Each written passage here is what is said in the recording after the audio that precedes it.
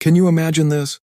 With just a nozzle and a mix of special concrete, entire walls are being printed right before our eyes.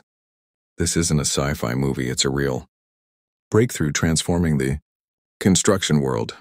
It's called 3D printed housing, and it's changing how homes are built forever. The idea is simple. Design your house digitally. Divide it into printable sections, and let the machine do the rest.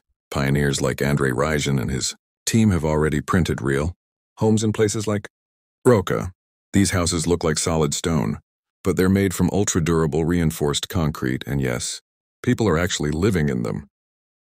What used to be impossible in construction is now easy curved walls, futuristic shapes and unique designs that architects only dreamed about before.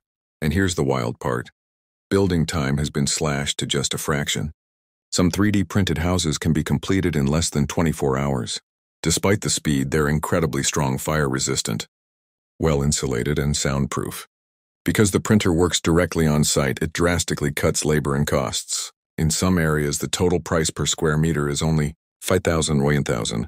The innovation comes from companies like Adva, leading the charge toward smarter, faster, and more sustainable construction.